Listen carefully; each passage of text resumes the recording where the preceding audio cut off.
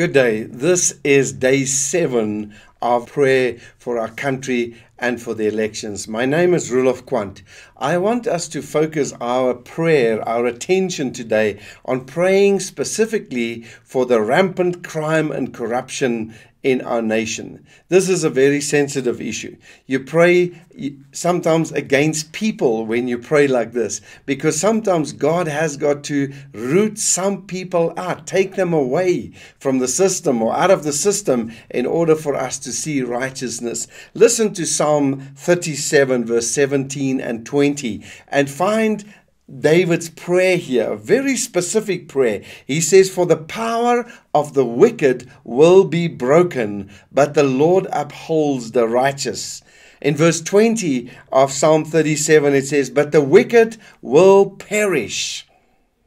Though the Lord's enemies are like the flowers of the field, they will be consumed and they will go up in smoke. Now, obviously, we want to be very, very cautious not to pray that God will kill people and just destroy people. But what we are praying, and I'm praying specifically, is that God will root out, God will deal with those that are wicked, God will deal with those who are in leadership positions in our church and uh, in our nation who are specifically not fighting crime but are actually benefiting from that. So, my prayer is personally that God will deal with the corruption in our leaders. Start with our leaders and deal with it from there on. And then the rampant crime is so serious. It, it is no secret that we have a country with an extremely high level of corruption, but also of crime. And the list of crimes goes on murder, rape, violence against women,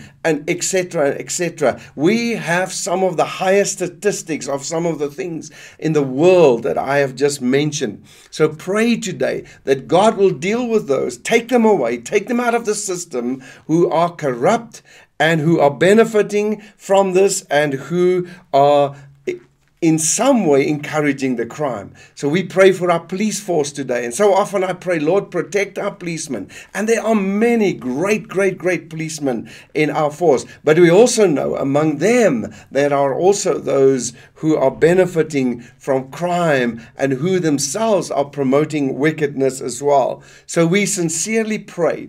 We pray today for those that are righteous in politics. Those are righteous in our police. Those are righteous in our justice system as well. That God will strengthen them, that they would stand up for what is right, and that we together as a nation would see a phenomenal decline in crime and corruption over the next few years. Pray today against gangsterism. How many of our young people in certain parts of the country have been sucked into gangs and have been whose lives have been destroyed and we pray against that as well in Jesus' name. May God break the power of the wicked ones and may God destroy the wicked in our nation in Jesus' name.